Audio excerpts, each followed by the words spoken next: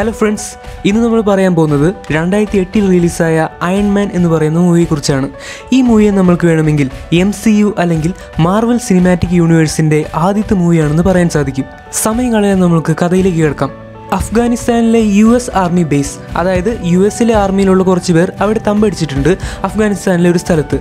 ആ സ്ഥലത്ത് അവർ ഒരാളെ പ്രതീക്ഷിച്ചിരിക്കുകയാണ്. അതാരാണെന്ന് വെച്ചാൽ അത് പ്രശസ്തനായ ഒരു ആംസ് ഡീലറാണ് അല്ലെങ്കിൽ ഒരു ആയുധ വിൽപ്പനക്കാരനാണ്.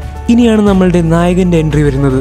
ജീനിയസ് ബില്യണേയർ പ്ലേ ബോയ് എല്ലാമായിട്ടുള്ള നമ്മളുടെ ആംസ് ഡീലർ അല്ലെങ്കിൽ ആയുധ വിൽപ്പനക്കാരനായിട്ടുള്ള ടോണി സ്റ്റാർക്ക് ടോണി സ്റ്റാർക്ക് ഒരു പട്ടാള ജീപ്പിൽ കുറച്ച് സൈനികരോടൊപ്പം തങ്ങളെ കാത്തിരിക്കുന്ന യു എസ് ആർമി ബേസിലേക്ക് പോയിക്കൊണ്ടിരിക്കുകയാണ്. അവിടെ ചെന്നിട്ട് തന്റെ ആയുധം അവർക്ക് വിൽക്കാനാണ് ടോണി സ്റ്റാർക്കിന്റെ ഉദ്ദേശം. Tony Stark U S army ബേസിന്റെ അടുത്തെത്തുന്നു.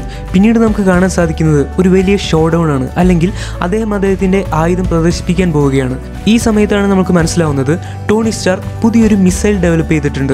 ആ മിസൈലിന്റെ പേരാണ് ജെറിക്കോ. ആ മിസൈലിന്റെ ശക്തിയും പ്രവർത്തനവും എങ്ങനെയാണെന്ന് യു എസ് ആർമി ബേസിന് ടോണി സ്റ്റാർ കാണിച്ചു കൊടുക്കുന്നു. ഇനി വരാൻ പോകുന്ന സീൻ എന്ന് പറയുന്നത് നമ്മളുടെ അയൺമാൻ സീരീസിലെ തന്നെ ഏറ്റവും അധികം ആരാധനയുള്ള ഒരു സീനാണ് അദ്ദേഹം യു എസ് ആർമി ബേസിന് മുന്നിൽ വെച്ച് ജെറിക്കോ മിസൈലിന്റെ ചെറിയൊരു സാമ്പിൾ അവർക്ക് കാണിച്ചു കൊടുക്കുന്നു.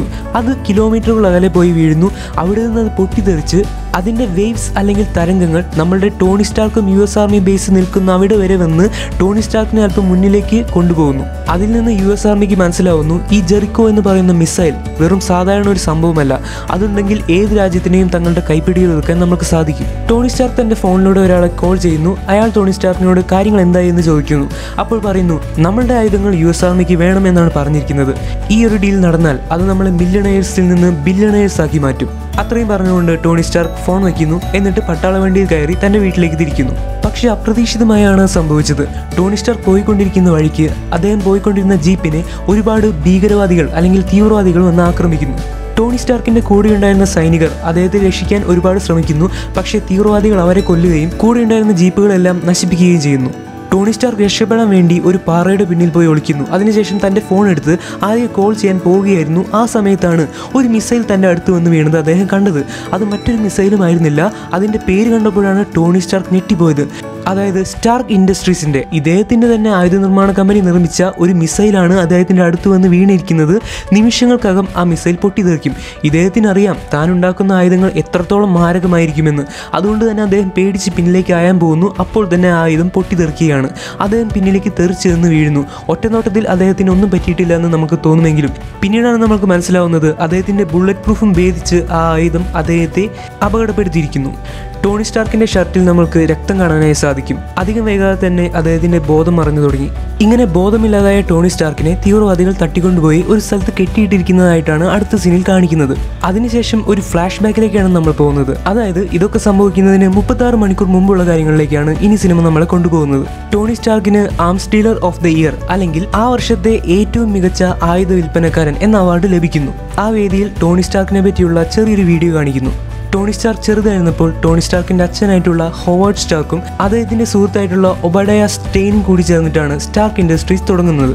അതിനുശേഷം സ്റ്റാർക്ക് ഇൻഡസ്ട്രീസ് വളരാൻ തുടങ്ങി. നമ്മളുടെ ടോണി സ്റ്റാർക്ക് ആണെങ്കിലോ ചെറുപ്പം മുതലേ വളരെയധികം ജീനിയസ് ആയിരുന്നു. അദ്ദേഹം സ്വന്തമായി ഒരുപാട് ആയുധങ്ങൾ നിർമ്മിക്കാനും ഡെവലപ്പ് ചെയ്യാനും തുടങ്ങി. അങ്ങനെയാണ് സ്റ്റാർക്ക് ഇൻഡസ്ട്രീസ് ഇന്ന് കാണുന്ന നിലയിലെത്തിയിട്ടുള്ളത്. അവാർഡ് കൊടുക്കാൻ നേരത്ത് ടോണി സ്റ്റാർക്ക് ആ വേദിയിൽ ഇല്ലാത്തതുകൊണ്ട് തന്നെ ഒബഡയ സ്റ്റെയിൻ അദ്ദേഹത്തിന്റെ അവാർഡ് വാങ്ങുന്നു. ഇതേ അവസരത്തിൽ തന്നെ ടോണി സ്റ്റാർക്കിന്റെ ഏറ്റവും അടുത്ത സുഹൃത്തായിട്ടുള്ള ജെയിംസ് റോഡ്സിനെ നമുക്ക് പരിചയപ്പെടാൻ സാധിക്കുന്നു. തുടർന്ന് കാണിക്കുന്നത് എന്താണെന്ന് വെച്ചാൽ നമ്മളുടെ കഥാനായകനായിട്ടുള്ള ടോണി സ്റ്റാർ ഒരു വലിയ കസനോയിൽ നിന്ന് ചൂത് കളിച്ചുകൊണ്ടിരിക്കുകയാണ്.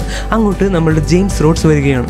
ജെയിംസ് റോഡ്സ് ടോണി സ്റ്റാർക്കിന് കിട്ടിയ അവാർഡ് അദ്ദേഹത്തിന്റെ കയ്യിൽ കൊടുക്കുന്നു. അപ്പോഴാണ് ടോണി സ്റ്റാർക്ക് പറയുന്നത് എന്റെ പൊന്നു കൂട്ടുകാരാ എന്റെ വീട്ടിൽ ഈ അവാർഡ് ഒന്ന് കൊണ്ടുവയ്ക്കാനുള്ള സ്ഥലമില്ല. ഇപ്പോൾ തന്നെ അവാർഡുകൾ ഒരുപാടായി കഴിഞ്ഞു. ഇങ്ങനെ പറഞ്ഞുകൊണ്ട് അവിടെ നിന്നിരുന്ന കുറച്ച് ആക്ടേഴ്സിന് ഈ അവാർഡ് കൊടുത്തിട്ട് നമ്മൾ ടോണി സ്റ്റാർക്ക് പുറത്തേക്ക് ഇറങ്ങുകയാണ്. അപ്പോഴാണ് അദ്ദേഹത്തിനെ ഒരു ജേർണലിസ്റ്റ് വിളിക്കുന്നത് ക്രിസ്റ്റിൻ എവർഹാർട്ട് എന്നാണ് ആ ജേർണലിസ്റ്റിന്റെ പേര്. ക്രിസ്റ്റിൻ എവർഹാർട്ട് ടോണി സ്റ്റാർക്കിന്റെ അടുത്തേക്ക് വന്ന് ചെറിയൊരു ഇന്റർവ്യൂ എടുക്കാൻ നോക്കുന്നു. ക്രിസ്റ്റിൻ ചോദിക്കുന്നു മിസ്റ്റർ ടോണി സ്റ്റാർക്ക് നിങ്ങളെ ഉണ്ടാക്കുന്ന ആയുധങ്ങളൊക്കെ കൊണ്ട് ലോകം നശിക്കുകയല്ലേ ചെയ്യുക? അപ്പോൾ ടോണി സ്റ്റാർക്ക് പറയുന്നു എന്തെങ്കിലും ഒരു ദിവസം വരും ഒരു വേൾഡ് വാർ അന്ന് നമ്മുടെ കയ്യിൽ ആയുധങ്ങളില്ലെങ്കിൽ നമ്മളുടെ ജനങ്ങളെ എങ്ങനെ നമ്മൾ രക്ഷിക്കും? ഇത് കേട്ട് പിന്നെ ജേർണലിസ്റ്റിന് വേറെ ഒന്നും പറയാനുണ്ടായിരുന്നില്ല. ആ ജേർണലിസ്റ്റിനെ ടോണി സ്റ്റാർക്ക് തന്റെ വീട്ടിലേക്ക് ക്ഷണിക്കുന്നു. പിന്നീട് നമുക്ക് കാണാൻ സാധിക്കുന്നത് കാലിഫോർണിയയിലുള്ള ടോണി സ്റ്റാർക്കിന്റെ വീടാണ്. ക്രിസ്റ്റിൻ എവർഹാർട്ട് അന്ന് രാത്രി ടോണി സ്റ്റാർക്കിന്റെ കൂടെ ആ വീട്ടിലായിരുന്നു. ക്രിസ്റ്റിൻ രാവിലെ ഉറക്കം എഴുന്നേറ്റപ്പോൾ അവളെ യാത്രയാക്കാൻ വേണ്ടിയിട്ട് നമ്മുടെ ടോണി സ്റ്റാർക്കിന്റെ പേഴ്സണൽ അസിസ്റ്റന്റ് ആയിട്ടുള്ള പേപ്പർ പോട്ട്സ് റെഡിയായി നിൽക്കുന്നുണ്ടായിരുന്നു. ക്രിസ്റ്റീനെ യാത്രയാക്കിയ ശേഷം പേപ്പർ പോട്ട്സ് ടോണി സ്റ്റാർക്കിന്റെ അടുത്തേക്ക് വരുന്നു. എന്നിട്ട് പറയുന്നു സാറിന് നിന്ന് അഫ്ഗാനിസ്ഥാനിൽ പ്രധാനപ്പെട്ട ഒരു മീറ്റിംഗ് ഉണ്ട്. സാറിന്റെ ആയുധങ്ങൾ ഇന്ന് യു എസ് ആർമിക്ക് വേണ്ടി പ്രദർശിപ്പിക്കണമെന്ന് സാർ പറഞ്ഞിരുന്നു. സാറിന്റെ പ്രൈവറ്റ് ജെറ്റ് സാറിനെ കാത്തിരിക്കുകയാണ്. അതുകൊണ്ട് സാർ പെട്ടെന്ന് റെഡി ആവാനും പോകാനും നോക്കുക എന്ന് പേപ്പർ പോട്ട്സ് ടോണി സ്റ്റാർക്കിനോട് പറയുന്നു. അതിനുശേഷം ടോണി സ്റ്റാർക്ക് തന്റെ അടിപൊളി വണ്ടിയായിട്ടുള്ള ഓഡിയിൽ ഇരുന്നുകൊണ്ട് തന്റെ പ്രൈവറ്റ് ജെറ്റിന്റെ അടുത്തേക്ക് പോവുകയാണ്. പ്രൈവറ്റ് ജെറ്റിൽ ഇദ്ദേഹത്തിന്റെ പ്രധാന സുഹൃത്തായിട്ടുള്ള ജെയിംസ് റോഡ്സ് ഇദ്ദേഹത്തെ കാത്തു നിൽക്കുന്നുണ്ടായിരുന്നു. അവർ രണ്ടുപേരും കൂടി ഈ ഡീലിന് വേണ്ടി അഫ്ഗാനിസ്ഥാനിലേക്ക് തിരിക്കുന്നു. അടുത്ത സീനിൽ പ്രസന്റ് ടൈമിൽ നടക്കുന്ന കാര്യങ്ങളാണ് കാണിക്കുന്നത്. അതായത് ശരിക്കും ഇപ്പോൾ നടന്നുകൊണ്ടിരിക്കുന്ന കാര്യങ്ങൾ. ടോണി സ്റ്റാർക്ക് വളരെയധികം പരിക്കുകളോടെ ബോധരഹിതനായി ഒരു സ്ഥലത്ത് കിടക്കുകയാണ്. കുറേ ഇലക്ട്രിക് വയറുകൾ അദ്ദേഹത്തിന്റെ ഹൃദയത്തിന്റെ ഭാഗത്തേക്ക് പോയിക്കൊണ്ടിരിക്കുന്നുണ്ട്. ആ വയറുകൾ ചെന്ന് അവസാനിക്കുന്നത് ഒരു ബാറ്ററിയിലേക്കാണ്. അപ്പോൾ നമുക്ക് മനസ്സിലാവുന്നത് എന്താണെന്ന് വെച്ചാൽ ഈ ടോണി സ്റ്റാർക്കിന്റെ ശരീരത്തിന് വേണ്ട എനർജി കൊടുത്തുകൊണ്ടിരിക്കുന്നത് ഈ ബാറ്ററിയിൽ നിന്നാണ്. ടോണി സ്റ്റാർക്കിന് ബോധം വരുന്നു. അദ്ദേഹം അടുത്ത് നിന്നിരുന്ന യെൻസെൻ എന്ന് പറയുന്ന ആളോട് ചോദിക്കുന്നു ഇവിടെ എന്താണ് നടന്നത്? യെൻസെൻ ഒരു ശാസ്ത്രജ്ഞനായിരുന്നു. അദ്ദേഹം ടോണി സ്റ്റാർക്കിനോട് പറയുന്നു താങ്കളുടെ അടുത്ത് വെച്ച് ഒരു ബോംബ് പൊട്ടിത്തെറിച്ചതായിട്ട് ഓർമ്മയില്ലേ? ആ ബോംബിൽ നിന്ന് തെറിച്ചു വന്ന ഒരുപാട് മാരകമായ വസ്തുക്കൾ താങ്കളുടെ ശരീരത്തിലുണ്ട്. അതൊക്കെ താങ്കളുടെ ശരീരത്തിന്റെ ഉള്ളിലിരുന്ന് താങ്കളുടെ ഹൃദയത്തിന്റെ നേരെ സഞ്ചരിച്ചുകൊണ്ടിരിക്കുകയാണ്. എപ്പോഴാണോ അത് താങ്കളുടെ ഹൃദയത്തെ ഭേദിക്കുന്നത്? താങ്കളുടെ മരണം അപ്പോൾ തന്നെ സംഭവിക്കുന്നതായിരിക്കും. ആർക്ക് റിയാക്ടർ എന്നു പേരുള്ള ഒരു ഇലക്ട്രോമാഗ്നറ്റിക് ഡിവൈസ് താങ്കളുടെ ശരീരത്തിൽ ഞാൻ ഘടിപ്പിച്ചിട്ടുണ്ട്. നെഞ്ചിന്റെ ഭാഗത്തായിട്ട്.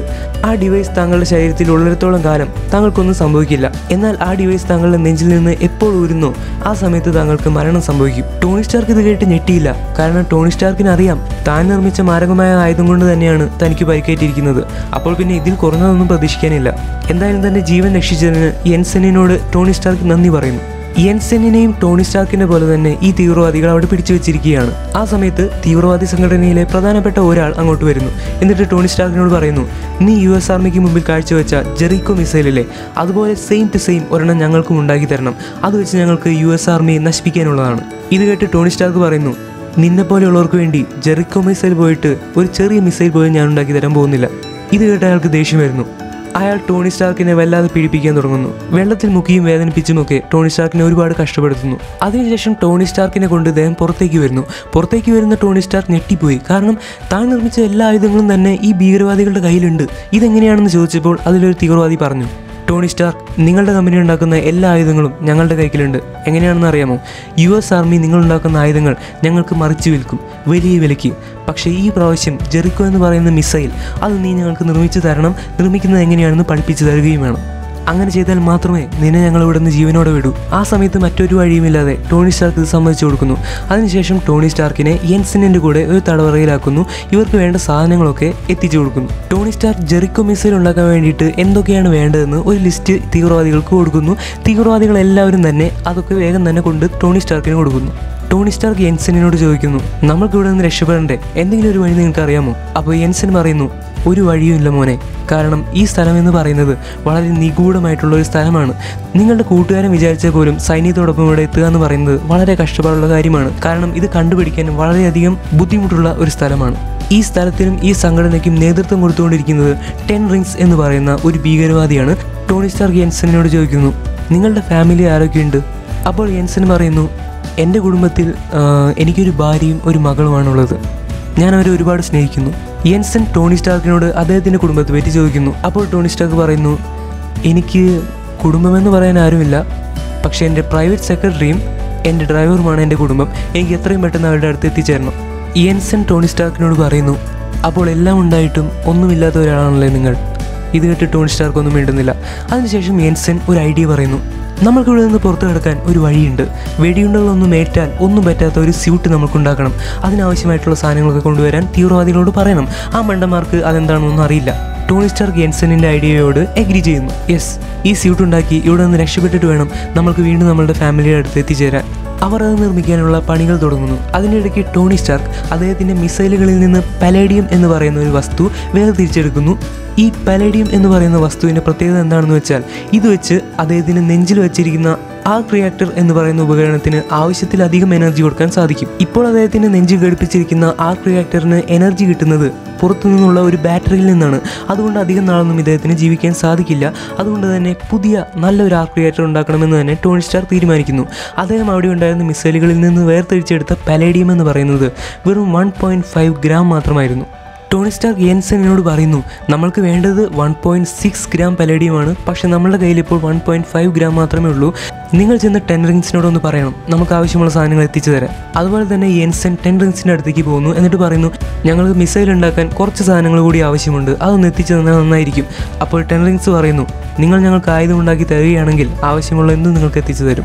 അങ്ങനെ ആവശ്യമുള്ള പലേഡിയും കൂടി അവരുടെ കയ്യിലെത്തുന്നു. നമ്മുടെ ടോണി സ്റ്റാർക്ക് വളരെയധികം ജീനിയസ് ആണെന്ന് പറയേണ്ടതില്ലല്ലോ. അതുകൊണ്ട് തന്നെ അദ്ദേഹം പെട്ടെന്ന് ഒരു നല്ല ആർക്ക് റിയാക്ടർ ഉണ്ടാക്കിയെടുക്കുന്നു. അതിന് മറ്റൊരു ബാറ്ററി പവർ ആവശ്യമില്ല. മാത്രമല്ല ഈ പുതിയ ആർക്ക് റിയാക്ടറിന്റെ എനർജി എന്ന് പറഞ്ഞാൽ അത് വളരെ അധികമാണ് അതുകൊണ്ട് മറ്റൊരു മെഷീൻ പോലും പ്രവർത്തിപ്പിക്കാൻ സാധിക്കും. ടോണി സ്റ്റാർക്കും യെൻസനും കൂടി ചേർന്ന് എന്തൊക്കെയാണ് ചെയ്യുന്നതെന്ന് സി സി ടി വിയിലൂടെ ടെൻ റിങ്സിനും മറ്റ് തീവ്രവാദികൾക്കുമൊക്കെ കാണാൻ സാധിക്കുന്നുണ്ടായിരുന്നു. പക്ഷേ ഇവർ എന്താണ് ചെയ്തുകൊണ്ടിരിക്കുന്നതെന്ന് അവർക്ക് മനസ്സിലാവുന്നുണ്ടായിരുന്നില്ല. ടോണി സ്റ്റാർക്ക് തന്റെ കയ്യിലുള്ള ഒരു ബ്ലൂ പ്രിന്റ് എടുത്ത് യെൻസെന്നെ കാണിച്ചുകൊണ്ട് പറയുന്നു ഈ മെഷീൻ ഉണ്ടാക്കുകയും ഇതിനാവശ്യമുള്ള പവർ കൊടുക്കുകയും എന്നാണ് നമ്മുടെ ഉദ്ദേശം. എന്നാൽ മാത്രമേ നമുക്ക് ഇവിടെ നിന്ന് രക്ഷപ്പെടാൻ സാധിക്കൂ. അവസാനം ആ ദിവസം വന്നെത്തി. അവർ ആ മെഷീൻ പൂർണമായും ഉണ്ടാക്കി കഴിഞ്ഞു. പക്ഷെ പുറത്തുനിന്ന് സി സി ടി വിയിലൂടെ ഇതൊക്കെ കണ്ടുകൊണ്ടിരുന്ന ടെൻ റിങ്സിന് എന്തോ അപകടം നടക്കുന്നു. അയാൾ ഭീകരവാദികളെ ഉടനെ എന്താണ് അവിടെ നടക്കുന്നതെന്ന് ചെക്ക് ചെയ്യാൻ വേണ്ടി അയക്കുന്നു. ഭീകരവാദികൾ ഇവരെ അടച്ചിട്ടിരിക്കുന്ന റൂമിന്റെ വാതിലിൽ വന്ന് മുട്ടാൻ തുടങ്ങി. അവിടെ ടോണി സ്റ്റാർക്ക് ഒരു ബോംബ് ഘടിപ്പിച്ചിട്ടുണ്ടായിരുന്നു. അത് തുറക്കാൻ ശ്രമിച്ചതോടെ ഭീകരവാദികളിൽ കുറെ പേർ പൊട്ടിത്തെറിച്ചു പോയി. ഇനി മറ്റൊരു വഴിയില്ല എന്ന് കണ്ടതോടെ യെൻസൺ ടോണി സ്റ്റാർക്കിനോട് പറയുന്നു നീ സ്യൂട്ടിന്റെ ബാക്കിയുള്ള കാര്യങ്ങൾ നോക്കിക്കോളൂ. ഞാൻ പുറത്തുപോയി അവരെ തടയാൻ നോക്കാം. അങ്ങനെ പറഞ്ഞുകൊണ്ട് അവിടെ വീണ് കിടന്നിരുന്ന ഒരു തോക്കെടുത്ത് യെൻസൺ മറ്റു ഭീകരവാദികളുടെ അടുത്തേക്ക് പോകുന്നു. ടോണി സ്റ്റാർക്ക് ആ സമയത്ത് തന്റെ സ്യൂട്ടിന്റെ പ്രോഗ്രാം ബാക്കിയുള്ളത് കൂടി ചെയ്യുന്നു. പക്ഷേ ടെൻ റിങ്സിന്റെ ആളുകൾ യെൻസനിനെ വെടിവെച്ച് താഴെയിടുന്നു. ടോണി സ്റ്റാർക്കിന്റെ സ്യൂട്ട് റെഡിയാവുന്നു. മാക് വൺ എന്നായിരുന്നു ആ സ്യൂട്ടിന് ടോണി സ്റ്റാർ കൊടുത്ത പേര്. പെട്ടെന്നാണ് ടോണി കണ്ടത് യെൻസനിനെ ആരോ വെടിവെച്ച് അവിടെ ഇട്ടിരിക്കുന്നു. യെൻസന്റെ അടുത്ത് നിന്ന് ടോണി സ്റ്റാർക്ക് ചോദിച്ചു നമ്മൾക്ക് ഇവിടെ നിന്ന് രക്ഷപ്പെടണ്ടേ? അപ്പോൾ യെൻസൻ പറയുന്നു എന്റെ കുടുംബത്തെ അവർ നേരത്തെ തന്നെ കൊന്നു. എനിക്ക് അവരുടെ അടുത്തേക്കാണ് പോകേണ്ടത്. ഞാനിതാ പോകുന്നു. എന്ന് പറഞ്ഞ് യെൻസൻ കണ്ണുകൾ അടയ്ക്കുന്നു യെൻസൻ മരിക്കുന്നു. ടോണി സ്റ്റാർക്കിന് ദേഷ്യം സഹിക്കാൻ കഴിഞ്ഞില്ല. അയാൾ ആ ഗുഹയിലുണ്ടായിരുന്ന എല്ലാവരെയും വെടിവെച്ച് താഴെയിടുന്നു. അതിനുശേഷം ഗുഹയ്ക്ക് പുറത്തെത്തിയപ്പോഴാണ് സ്റ്റാർക്ക് ഇൻഡസ്ട്രീസിന്റെ തന്നെ എല്ലാ ആയുധങ്ങളും അവിടെ ഇരിക്കുന്നത് കാണുന്നത്. ഒട്ടും തന്നെ ആലോചിക്കാതെ ആ ആയുധങ്ങളെല്ലാം കത്തിച്ച് നാശമാക്കി കളഞ്ഞുകൊണ്ട് തന്റെ സ്യൂട്ടിൽ ഘടിപ്പിച്ചിരിക്കുന്ന റോക്കറ്റ് ലോഞ്ചർ പ്രവർത്തിപ്പിച്ച് ടോണി സ്റ്റാർക്ക് ആകാശത്തേക്ക് പറന്നുയരുന്നു. പക്ഷേ ഈ സ്യൂട്ട് എന്ന് പറയുന്നത് തൽക്കാലത്തേക്ക് അവിടെ നിന്ന് രക്ഷപ്പെടാൻ വേണ്ടി മാത്രം ഉണ്ടാക്കിയതായിരുന്നു. അതുകൊണ്ട് ആ സ്യൂട്ട് അധികം നേരം വർക്ക് ചെയ്തില്ല. അത് അവിടെയുള്ള ഒരു മരുഭൂമിയിലേക്ക് ചെന്ന് വേഗത്തിൽ പതിക്കുന്നു. വളരെ സ്പീഡിൽ ചെന്ന് പതിച്ചതുകൊണ്ട് തന്നെ ആ സ്യൂട്ട് പല കഷ്ണങ്ങളായി വേർപിരിഞ്ഞ് നശിച്ചു പോകുന്നു. ടോണി സ്റ്റാർക്ക് മരുഭൂമിയിലൂടെ എങ്ങോട്ടും നിലനിന്ന് നടക്കുന്നു. നേരത്തെ ടോണിയെ പിടിച്ചു വെച്ചിരുന്ന സ്ഥലത്ത് അയാളുടെ കൂട്ടുകാരനായിട്ടുള്ള ജെയിംസ് റോഡ്സിന് എത്തിച്ചേരാൻ പറ്റില്ലായിരുന്നു. പക്ഷേ ഇപ്പോൾ തുറസായ മരുഭൂമിയിലൂടെയാണ് നമ്മളുടെ ടോണി സ്റ്റാർക്ക് നടന്നുകൊണ്ടിരിക്കുന്നത്. അതുകൊണ്ട് തന്നെ ജെയിംസ് റോഡ്സിനും ടീമിനും അദ്ദേഹത്തിന് പെട്ടെന്ന് തന്നെ കണ്ടെത്താൻ സാധിച്ചു. ജെയിംസ് റോഡ്സ് ടോണി സ്റ്റാർക്കിനെ കാലിഫോർണിയയിലുള്ള മാലിബുവിലേക്ക് തിരിച്ചു കൊണ്ടുപോകുന്നു മാലിബുവിൽ എത്തിയ ഉടനെ തന്നെ തന്റെ ബോഡി ഗാർഡായിട്ടുള്ള ഹാപ്പി ഹോഗനോട് ടോണി സ്റ്റാർക്ക് ആവശ്യപ്പെടുന്നത് എന്താണെന്ന് വെച്ചാൽ പെട്ടെന്ന് തന്നെ ഒരു പ്രസ് മീറ്റ് അറേഞ്ച് ചെയ്യണം. എനിക്ക് കുറച്ച് കാര്യങ്ങളൊക്കെ പറയാനുണ്ട്. ഹാപ്പി ഹോഗൻ അതുപോലെ തന്നെ ചെയ്യുന്നു. പെട്ടെന്ന് തന്നെ ഒരു പ്രസ് മീറ്റ് വിളിച്ചു കൂട്ടുന്നു. പ്രസ് മീറ്റ് നടക്കുന്ന സ്ഥലത്ത് ടോണി സ്റ്റാർക്ക് എത്തിയപ്പോൾ അദ്ദേഹത്തെ വെൽക്കം ചെയ്യാനായിട്ട് ഒബഡയ സ്റ്റീൻ അല്ലെങ്കിൽ ടോണി സ്റ്റാർക്കിന്റെ പിതാവിന്റെ കൂട്ടുകാരനായിരുന്ന സ്റ്റാർക്ക് ഇൻഡസ്ട്രീസിന്റെ തന്നെ ഒരു മെയിൻ ഭാഗമായിട്ടുള്ള ആളാണ് ഒബഡയ സ്റ്റീൻ. അദ്ദേഹം അവിടെ നിൽക്കുന്നുണ്ടായിരുന്നു. പ്രസ് മീറ്റിൽ ടോണി സ്റ്റാർക്കിനോട് ക്വസ്റ്റ്യൻ ചോദിക്കാൻ വേണ്ടി ഒരുപാട് പേർ കാത്തു നിൽക്കുന്നുണ്ടായിരുന്നു. അവർ ഓരോ ക്വസ്റ്റ്യൻസ് ആയി ചോദിക്കാൻ തുടങ്ങി. മിസ്റ്റർ ടോണി സ്റ്റാർക്ക് എങ്ങനെയാണ് നിങ്ങളെ പിടിച്ചുകൊണ്ട് പോയത്? ആരാണ് നിങ്ങളെ പിടിച്ചുകൊണ്ട് പോയത്? അഫ്ഗാനിസ്ഥാനിൽ വെച്ച് അവർ നിങ്ങൾ എന്തൊക്കെയാണ് ചെയ്തത്? എങ്ങനെയാണ് നിങ്ങൾ അവിടെ നിന്ന് രക്ഷപ്പെട്ടു പോകുന്നത്? ഇങ്ങനെ ഒരുപാട് ചോദ്യങ്ങൾ ചോദിക്കാൻ തുടങ്ങി. ഇനിയാണ് അയൺമാൻ വൺ മൂവിയിലെ ഏറ്റവും ഹാർട്ട് ടച്ചിങ് ആയിട്ടുള്ള ഒരു സീൻ കടന്നു വരുന്നത്. ടോണി സ്റ്റാർക്ക് എല്ലാവരോടും പറയുന്നു നമ്മൾക്കെല്ലാവർക്കും നിലത്തിരുന്ന് സംസാരിക്കാം. ഞാനും ഇന്ന് നിലത്താണ് ഇരിക്കുന്നത്. നിങ്ങളും നിലത്തിരിക്കൂ. അങ്ങനെ എല്ലാവരും നിലത്തിരിക്കുന്നു. ടോണി സ്റ്റാർക്ക് പതിയെ തന്റെ കഥ പറയാൻ തുടങ്ങുന്നു. എങ്ങനെയാണ് തന്നെ പിടിച്ചുകൊണ്ട് പോയത്? എന്നാണ് അവിടെ നടന്നതെന്നൊക്കെ. തന്റെ കമ്പനിയായിട്ടുള്ള സ്റ്റാർക്ക് ഇൻഡസ്ട്രീസ് ഉണ്ടാക്കിയ ഉപകരണങ്ങൾ വെച്ച് തന്നെ തന്നെ ഭീഷണിപ്പെടുത്തിയെന്നും ആ ഉപകരണങ്ങൾ വെച്ച് എത്രമാത്രം പാവങ്ങളെയാണ് കഷ്ടപ്പെടുത്തിക്കൊണ്ടിരിക്കുന്നതെന്നും ടോണി സ്റ്റാർക്ക് അവിടെയുള്ള പ്രസ് മീറ്റുകാരോട് പറയുന്നു. അതിനുശേഷം മറ്റൊരു പ്രധാന അറിയിപ്പ് കൂടി കൊടുക്കുന്നു. ഇത്രയും നാൾ നിങ്ങൾ സ്റ്റാർക്ക് ഇൻഡസ്ട്രീസിനെ സ്നേഹിച്ചതിന് നന്ദി. എന്നാൽ ഈ ആയുധ കച്ചവടം ഇത് ഞാൻ നിർത്താൻ പോവുകയാണ്. ഇത് കേട്ട് അവിടെ കൂടി നിന്നവരൊക്കെ ഞെട്ടിപ്പോയി. ഇത്രയധികം ലാഭത്തിൽ പ്രവർത്തിച്ചുകൊണ്ടിരിക്കുന്ന ഒരു ആയുധ നിർമ്മാണ കമ്പനി അതും സ്റ്റാർക്ക് ഇൻഡസ്ട്രീസ് ലോകത്തിലെ തന്നെ ടോപ്പസ്റ്റ് വെപ്പൺസ് ആണ് ഇവിടെ വിൽക്കപ്പെടുന്നത്. ഈ കമ്പനിയിൽ ആയുധ വിൽപ്പന നിർത്താൻ പോവുകയാണെന്നോ? എല്ലാവരും അത്ഭുതപ്പെട്ടു പോയി പിന്നീട് അതിനെക്കുറിച്ചുള്ള ചോദ്യങ്ങളായി. അപ്പോൾ അവരെ മാനേജ് ചെയ്യാൻ വേണ്ടി ഒബഡയ സ്റ്റെയിൻ അങ്ങോട്ട് കയറി വരുന്നു. ടോണി സ്റ്റാർക്കിനെ മാറ്റിയ ശേഷം ഒബഡയ സ്റ്റെയിൻ അവിടെയുള്ളവരോട് പറയുന്നു ടോണിക്ക് അഫ്ഗാനിസ്ഥാനിൽ വെച്ച് ഒരുപാട് മാനസിക സംഘർഷം അനുഭവിക്കേണ്ടി വന്നിട്ടുണ്ട്. അതുകൊണ്ട് അവന്റെ മാനസിക നില ഇപ്പോൾ നോർമൽ അല്ല. നോർമൽ ആയതിനു ശേഷം ഞങ്ങളൊരു തീരുമാനം അറിയിക്കുന്നതായിരിക്കും. ഒബഡയ സ്റ്റെയിൻ ടോണി സ്റ്റാർക്കിന്റെ അടുത്ത് നിന്ന് ചോദിക്കുന്നു ടോണി നീ എന്തൊക്കെയാണ് ഈ പറയുന്നത്? ആയുധ കച്ചവടം നിർത്തണമെന്നോ? അതുപോട്ടെ നീ എങ്ങനെയാണ് അവിടെ നിന്ന് രക്ഷപ്പെട്ടു വന്നത്? ടോണി ഉണ്ടായ കാര്യങ്ങളൊക്കെ പറയുന്നു. നമ്മളുടെ സ്റ്റാർക്ക് ഇൻഡസ്ട്രീസ് ഉണ്ടാക്കുന്ന എല്ലാ ആയുധങ്ങളും ആ ഭീകരവാദികളുടെ കയ്യിലുണ്ട്. അവർക്കിനി ജെറിക്കോ മിസൈൽ കൂടി ഉണ്ടാക്കി കൊടുക്കണമെന്ന് പറഞ്ഞിട്ടാണ് എന്നെ പിടിച്ചുകൊണ്ട് പോയത്. ഞാനതിന് സമ്മതിച്ചില്ല. അപ്പോൾ എന്നെ കൊല്ലാൻ നോക്കി. അവസാനം അവിടെ നിന്ന് രക്ഷപ്പെടാൻ വേണ്ടി എനിക്കൊരു സ്യൂട്ട് ഉണ്ടാക്കേണ്ടി വന്നു. മാത്രമല്ല എന്റെ ആരോഗ്യനില ആകെ അപകടത്തിലായിരുന്നു. ഇപ്പോൾ എന്നെ സംരക്ഷിച്ചുകൊണ്ടിരിക്കുന്നത് ഒരു ആർക്ക് റിയാക്ടർ എന്ന് പറയുന്ന ഡിവൈസാണ് ഒബഡയ സ്റ്റെയിനിന് ടോണി സ്റ്റാർക്കിന്റെ ആർക്ക് റിയാക്ടർ കാണണം എന്ന് പറയുന്നു. ടോണി സ്റ്റാർക്ക് പതുക്കെ തന്നെ ഷർട്ട് അഴിച്ച് അത് കാണിച്ചു കൊടുക്കുന്നു. അപ്പോൾ ഒബഡയ സ്റ്റെയിൻ പറയുന്നു ഈ സാധനം അടിപൊളിയാണല്ലോ. ഈ കണ്ടുപിടുത്തം ലോകത്തിന് കാണിച്ചു കൊടുക്കുകയാണെങ്കിൽ നമ്മൾ ഇനിയും വേറെ ലെവലിലെത്തും. പക്ഷെ ടോണി സ്റ്റാർക്ക് തീരുമാനം മാറ്റാൻ പോകുന്നുണ്ടായിരുന്നില്ല. ടോണി സ്റ്റാർക്ക് അദ്ദേഹത്തിനോട് പറഞ്ഞു ഞാനൊരു തീരുമാനം എടുത്തു കഴിഞ്ഞു ഇനി അത് ഞാൻ മാറ്റില്ല. വീട്ടിൽ തിരിച്ചു തന്ന ടോണി സ്റ്റാർക്ക് ഇപ്പോൾ തന്നെ നെഞ്ചിൽ ഘടിപ്പിച്ചിരിക്കുന്ന ആർക്ക് റിയാക്ടർ ഒന്നുകൂടി പുതുക്കി പണിയാൻ തീരുമാനിക്കുന്നു. അങ്ങനെ കുറച്ചുകൂടി ഇംപ്രൂവ്ഡ് ആയിട്ടുള്ള ഒരു വേർഷൻ അദ്ദേഹം ഉണ്ടാക്കിയെടുക്കുന്നു. അതിനുശേഷം പെപ്പർ പോട്ട്സിനെ അടുത്തേക്ക് വിളിച്ചിട്ട് പറയുന്നു നീ എനിക്കൊരു സഹായം ചെയ്തു തരണം. എന്റെ നെഞ്ചിൽ വെച്ചിട്ടുള്ള ഈ ആർക്ക് റിയേറ്റർ എടുത്ത് മാറ്റി പുതിയ ആർക്ക് റിയേറ്റർ അതിന്റെ സ്ഥാനത്ത് പിടിപ്പിച്ചു തരണം. ചെയ്യാൻ പേടിയുണ്ടായിരുന്നെങ്കിലും പെപ്പർ പോട്ട്സ് ടോണി സ്റ്റാർക്ക് പറഞ്ഞ പോലെ തന്നെ ചെയ്യുന്നു. എന്നിട്ട് ചോദിക്കുന്നു എന്തിനാണ് ഈ ആർക്ക് റിയേറ്റർ നെഞ്ചിൽ വെച്ചിരിക്കുന്നത്? ടോണി സ്റ്റാർക്ക് അതിന്റെ ഉപയോഗം എന്താണെന്നും അതെങ്ങനെയാണ് തന്റെ ജീവൻ രക്ഷിച്ചുകൊണ്ടിരിക്കുന്നതെന്നും പെപ്പർ പോട്ട്സിനോട് പറഞ്ഞു കൊടുക്കുന്നു. എന്നിട്ട് പഴയ ആർക്ക് റിയാക്ടർ കൊണ്ട് നശിപ്പിച്ചു കളയാൻ പറയുന്നു. ഇതേ സമയത്ത് ടോണി സ്റ്റാർക്ക് പോയി വീണ മരുഭൂമിയിൽ നിന്ന് മാക് വൺ എന്ന് പറയുന്ന സ്യൂട്ട് ടെൻ റിങ്സ് കണ്ടെടുക്കുന്നു. എന്നിട്ട് അതേ മാതൃകയിലുള്ള പുതിയൊരു സ്യൂട്ട് നിർമ്മിക്കാൻ അദ്ദേഹം പരിശ്രമം തുടങ്ങുന്നു. ടോണി സ്റ്റാർക്ക് ആണെങ്കിലോ തന്റെ ബേസ്മെന്റിൽ പുതിയ അയൺമാൻ സ്യൂട്ട് ഉണ്ടാക്കാൻ അതായത് മാർക്ക് ടു എന്ന് പറയുന്ന ഡെവലപ്ഡ് ആയിട്ടുള്ള സ്യൂട്ട് വേർഷൻ ഉണ്ടാക്കാൻ ശ്രമിക്കുന്നു. ആദ്യം അദ്ദേഹം പണിയെടുക്കുന്നത് കാൽഭാഗത്താണ്. അതായത് ഈ സ്യൂട്ടിന്റെ കാൽഭാഗമാണല്ലോ ഏറ്റവും അധികം പ്രധാനപ്പെട്ടത്. ഒരു സ്ഥലത്ത് ഉറച്ചു നിൽക്കണമെങ്കിലും എല്ലാത്തിനും അദ്ദേഹത്തിന്റെ ചെരുപ്പുകൾ വളരെയധികം ബലമുള്ളതായിരിക്കണം. അദ്ദേഹം കാലുകളിൽ പിടിപ്പിച്ചിരുന്നത് സിലിണ്ടറിക്കൽ റോക്കറ്റ് ആയിരുന്നു. അതായത് ഒരു മനുഷ്യനെ ശരിയായ രീതിയിൽ ആകാശത്ത് പറക്കാൻ സഹായിക്കുന്ന തരത്തിലുള്ള റോക്കറ്റ്സ് അദ്ദേഹം ആദ്യം അതിന്റെ ടെൻ പെർസെന്റേജ് മാത്രം യൂസ് ചെയ്ത് പറക്കാൻ ശ്രമിക്കുന്നു. എല്ലാം ശരിക്ക് പ്രവർത്തിക്കുമെന്നാണ് വിചാരിച്ചത്. പക്ഷേ ടെൻ പെർസെന്റേജ് തന്നെ വളരെ അധികമായിരുന്നു. ആ ചെരുപ്പുകൾ അദ്ദേഹത്തിനെ മൊത്തത്തോടെ പൊക്കിക്കൊണ്ടുപോയി റൂഫിന്റെ മുകളിൽ കൊണ്ടിരിക്കുന്നു. അദ്ദേഹത്തിന് മനസ്സിലായി പത്ത് പെർസെന്റേജ് വെച്ചാൽ ശരിയാവില്ല. അപ്പോൾ അദ്ദേഹം അതിന്റെ പവർ വൺ പെർസെന്റേജിലേക്ക് കുറയ്ക്കുന്നു. അതിനുശേഷം ഒന്നും കൂടി ട്രൈ ചെയ്ത് നോക്കുമ്പോൾ അദ്ദേഹത്തിന് ശരിയായ രീതിയിൽ എയറിൽ പൊങ്ങി നിൽക്കാൻ സാധിക്കുന്നുവെന്ന് മനസ്സിലായി.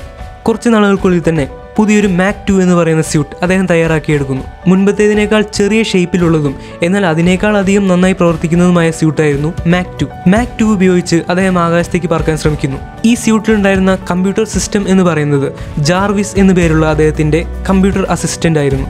ജാർവിസിനോട് ടോണി സ്റ്റാർക്ക് പറയുന്നു സ്യൂട്ടിന്റെ ഫുൾ പവർ എടുത്ത് പറ്റാവുന്നത്ര ഉയരത്തിലേക്ക് പോകട്ടെ. അങ്ങനെ സ്യൂട്ടിന്റെ ഫുൾ പവർ ഇനേബിൾ ആക്കി ആകാശത്തേക്ക് പറ്റുന്നത്ര വേഗത്തിൽ പറ്റുന്നത്ര ഉയരത്തിലേക്ക് അയൺമാൻ സ്യൂട്ട് കുതിക്കുന്നു. എന്നാൽ ഒരുപാട് ഒരുപാട് ഉയരത്തിലെത്തി കഴിഞ്ഞപ്പോഴാണ് ടോണി സ്റ്റാർക്കിന് ഒരു കാര്യം മനസ്സിലായത്.